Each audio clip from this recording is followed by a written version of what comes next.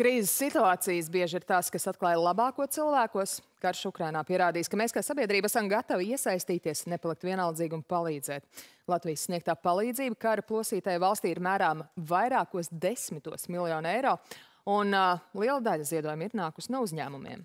To, ko esam pieredzējuši pašu acīm, apliecina arī nesen veikts pētījums, kurā noskaidrots, ka Latvijai ir liels filantropiskais potenciāls. Tiesa trūkst atbalstošas vides, savstarpējas sadarbības un tālredzīgas stratēģijas.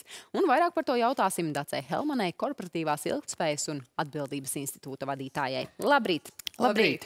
Nu, vispirms mēs lūksim izskaidrot, ko vispār nozīmē filantropiskais potenciāls. Kas, kā liecina pētījums, Latvijā ir liels, bet kāda ir tā būtība?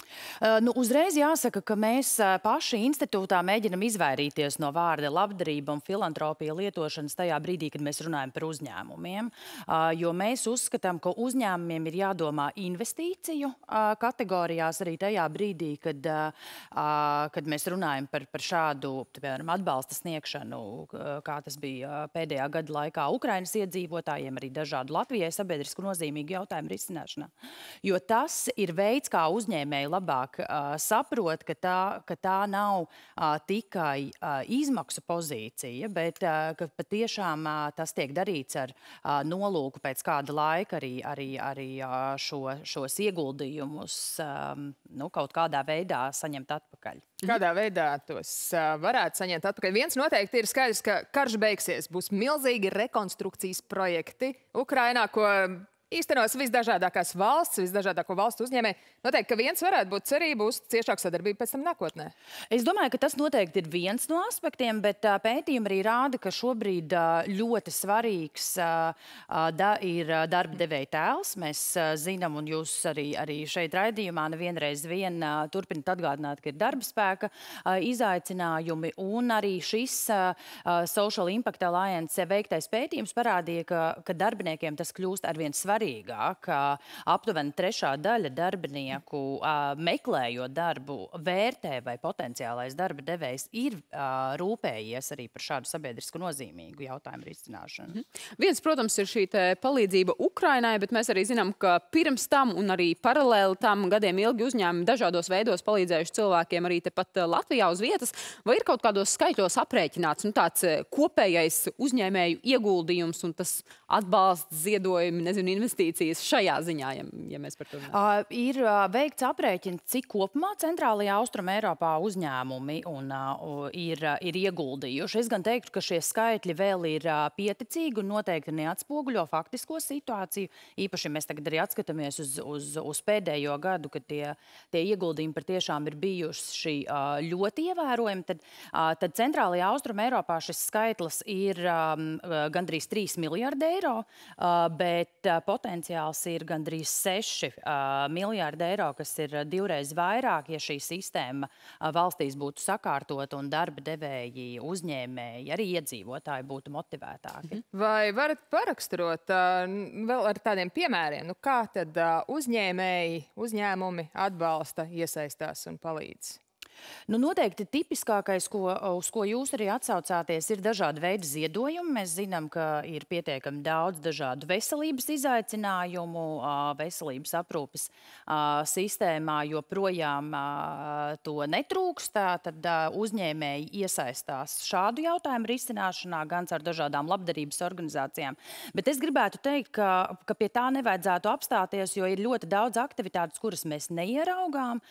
Piemēram, uzņēmēja ieguldījums izglītības jomā, zinātnes attīstībā, arī dažādu ar klimatu saistītu jautājumu risināšanā. Šobrīd virkni uzņēmumu atbalsta dažādus jaunu uzņēmumus, augstskolas, universitātes, lai palīdzētu meklēt risinājumus nu, šobrīd aktuālajiem klimata pārmaiņu jautājumam.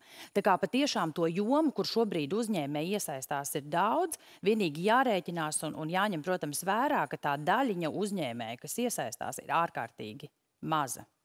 -hmm. Jūs arī minējāt, nu, ka, ka tas apjoms varētu būt krietni lielāks, ja būtu tā sistēmas sakārtotība. Uh, kas ir tas, kas pietrūkst šajā sistēmas sakārtotībā? Es domāju, ka mēs daudz arī atceramies uh, 2018. gada nodokļu reformu, uh, kad labdarības organizācijas tieši cēla trauksmi un teica, ka ziedojumi ir apdraudēti, jo uzņēmējiem vienkārši nu, tā motivācija tiek atņemta ziedot. Kāda ir tā reālā situācija? Teiksim, vai tiešām tā ietekme ir jūtama?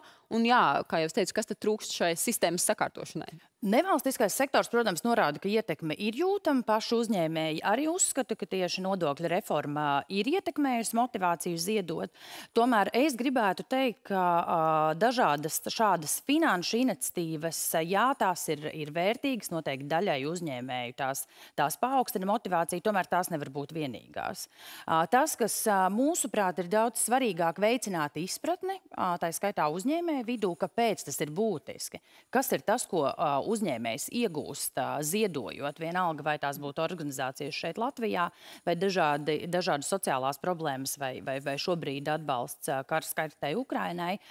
Bet viens ir izpratnes jautājums, un kopumā šobrīd sabiedrībā trūkst arī tādu labo piemēru, tieši kā to izdarīt. Jo skaidrs ir, ka, ka arī uzņēmēji, protams, redz, ka apkārt ir pietiekami daudz dažādu sociālo un ne tikai izaicinājumu, bet bieži vien viņi nesaprot, nesaprot, kā iesaistīties. Un tas, kas šeit varētu palīdzēt, ir tāda informācijas, nu, varētu teikt, saskaņotība un pieejamība.